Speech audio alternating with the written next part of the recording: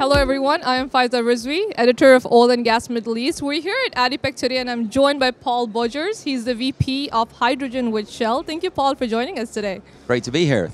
Right, Paul, now we'll start by talking about, you know, what role is Shell playing in helping establish a global hydrogen economy and if you could tell us about that. Yeah, so um, I always say that I have by far the best job in Shell because I have the privilege of leading a global team that looks at building out exactly this, um, this global hydrogen value chain, if you like. Now this sounds all very grandiose, but you have to start somewhere. Um, and I think what's, what's really important for us is that when we build these value chains, we build them from the demand backwards. So we look at the customers, we look at where can we secure the anchor demand, and then build value chains all the way back from the, the distribution, the production at scale, uh, and in case of green hydrogen, all the way up to owning and building the renewables that feed that whole chain. Great point, Paul. And this morning, you know, the opening ceremony, we heard from our Saudi energy minister on let's talk about hydrogen by itself, not shades of hydrogen, right? So if you could tell us about, you know, how can decarbonized hydrogen play a vital role in helping us achieve that net zero goal that we're all striving to achieve? Yeah, excellent. And if I get uh, a penny for every time people ask me about green, blue, gray, what is the right color? I think at the end of the day, it's a very um, uh, moot point decarbonizing hydrogen in itself, if we look at the carbon emissions of hydrogen today, the gray hydrogen if you like, that's already a very substantial kind of uh, source of emissions. It's, it's over 800 uh, million tons of CO2 emitted from today's hydrogen production. Even if we could back out as much of that existing gray hydrogen, and Shell, by the way, has pledged to reduce 65% of its hydrogen um, production and make that clean hydrogen, uh, that's already a very big step to make.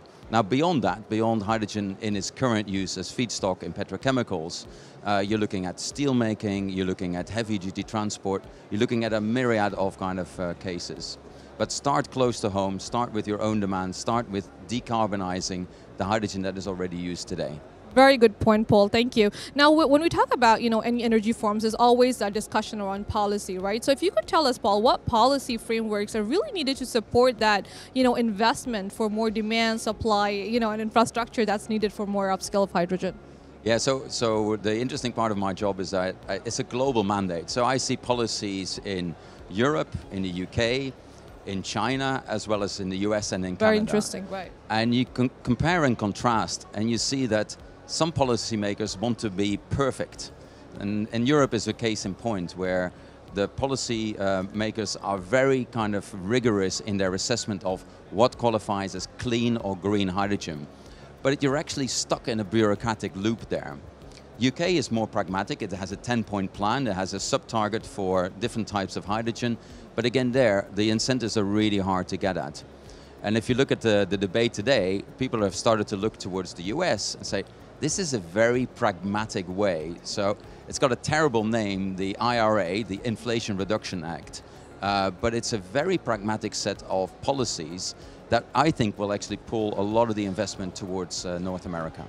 Wonderful. Thank you, Paul. I think you made some very interesting points. Well, now, let's now talk about, you know, this coordination that you might see between public and private, you know, organizations at both national and international levels. You, really, what kind of coordination is needed, Paul, do you think, to increase that, you know, um, this ensure that we have a more stable supply and demand of hydrogen?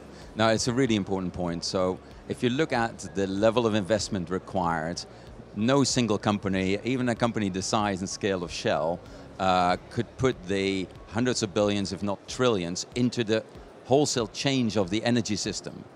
Um, so what you need in terms of public-private partnership is uh, you know, focus on bringing down what some people call the green premium on the use of hydrogen in different kind of use cases, as well as focusing really on the infrastructure that is there to connect supply and demand.